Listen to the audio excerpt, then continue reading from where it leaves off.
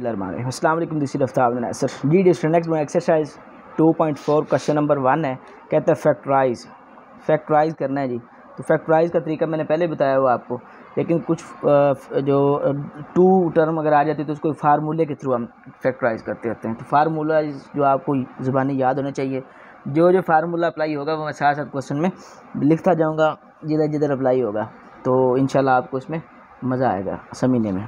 तो यहाँ पर देखें, सबसे पहले एट एक्स क्यूब है माइनस वाई क्यूब यहाँ तो फार्मूला जो बनना है, वो क्यूब का बनना है।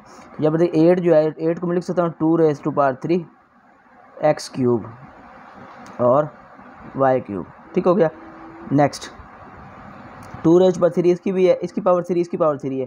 तो मैं होल पावर थ्री बना सकता हूँ, इस तरह से।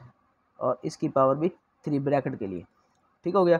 अब यहाँ पर देखें, हमारे पास फार्मूला रहा है। फार्मूला क्या बन रहा है? अगर हमारे पास a cube minus b cube आ जाए तो वो किसके इक्वल होता है? A cube minus b cube आ जाए तो वो किसके इक्वल होता है? तो सबसे पहले आपने याद रखना है माइनस है तो सबसे पहले लिखना है ए माइनस बी फिर ए स्केयर इधर माइनस है तो उल्ट कर देना इधर प्लस लगा लेना बी स्केयर ठीक हो गया?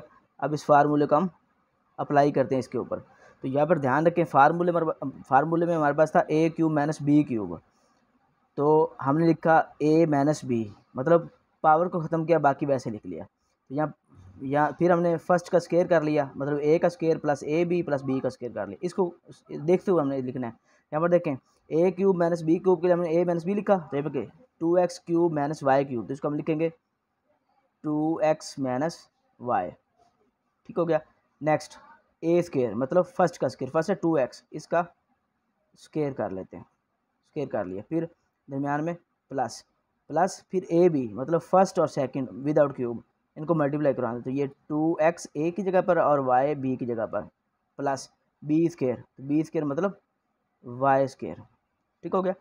नेक्स्ट ये हमारे पास है टू एक्स माइनस वाई अब two x whole power two से मुराद क्या है इसका? स्केयर है दोनों का। टू का भी स्केयर एक्स का स्केयर टू का स्केयर करें तो फोर और एक्स का स्केयर स्केयर आ जाएगा। Next two x into y multiply करें तो ये बनता है two x y plus y का स्केयर तो ये हमारे पास इसका फाइनल आंसर आ जाते ठीक हो गया? मुझे उम्मीद है इस क्वेश्चन की आपको समझ आई होगी अच्छे से। तो ये हमारे पास फ़र्स्ट क्वेश्चन था इसका। ठीक हो गया? नेक्स्ट हम मूव करते हैं इसके सेकंड क्वेश्चन की तरफ़। Second question question number two तो यहाँ पर देखें ट्वेंटी सेवन एक्स क्यूब यहाँ पर प्लस वन है।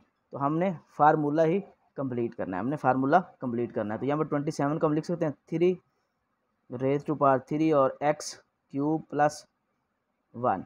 लिख सकते हैं ना इस तरह से। या वन का क्यूब लिख लें तो फ़र्क नहीं पड़ता। वन की जितनी मर्ज़ी पावर लेना हमने फार्मूला मुकम्मल करने के लिए सारा काम किया है। मज़ीद। देखिए, इसकी पावर भी थ्री है, इसकी पावर भी थ्री। थ्री की पावर थ्री, एक्स की पावर थ्री तो इनको हम होल पावर में लिख सकते हैं इस तरह से। ठीक हो गया? और दरमियान में प्लस और वन क्यूब। ठीक हो गया? यहाँ पर देखिए फार्मूला मिल रहा है। A cube plus b cube वो क्या होता है? A plus b into a square minus a b plus b square ये फार्मूला हमने प्लस का ओपन किया पहले हमने माइनस का ओपन किया था। तो प्लस का फार्मूला हमने कैसे किया है? फ़र्स्ट प्लस सेकंड फ़र्स्ट किया है? थ्री एक्स सेकेंड वन है। तो हम लिखेंगे थ्री एक्स प्लस वन ठीक हो गया? फिर फ़र्स्ट स्केयर फ़र्स्ट है three x three x square minus first हमारे पास है, फ़र्स्ट एंड सेकंड मल्टीप्लाई करना तो फ़र्स्ट एक्स, थ्री एक्स है और साथ सेकंड वन है। इसको मल्टीप्लाई करवा दें, प्लस बी स्केयर मतलब वन का स्केयर। ये आ गया। Next. Three x plus one और यहाँ पर थ्री एक्स स्केयर मतलब नाइन एक्स स्केयर। थ्री का स्केयर नाइन और एक्स का square x square. Next, three x को वन से मल्टीप्लाई करेंगे तो ये थ्री एक्स ही आता है और वन का स्केयर वन ही होता है। तो ये इसका फाइनल आंसर आ जाता है।